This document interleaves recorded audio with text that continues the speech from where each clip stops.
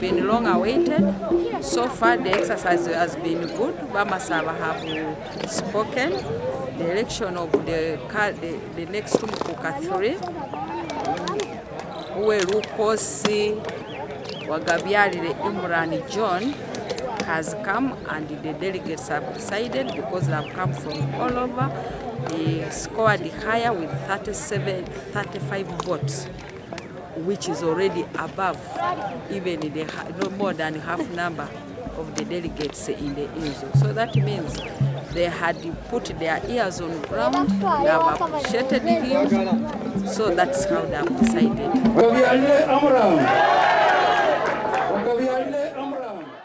Bamasaba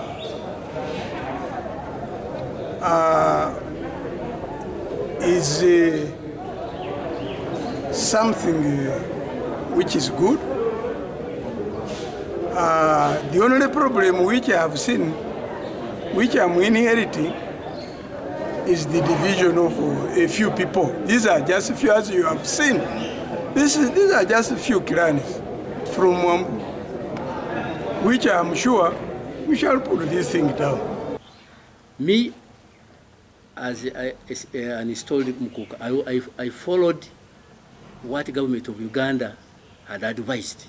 So the, the, the institution, the, the officers of INZU started carrying out the due process of searching for a new Mukuka, which they followed to the dot. I am the fully installed Mukuka.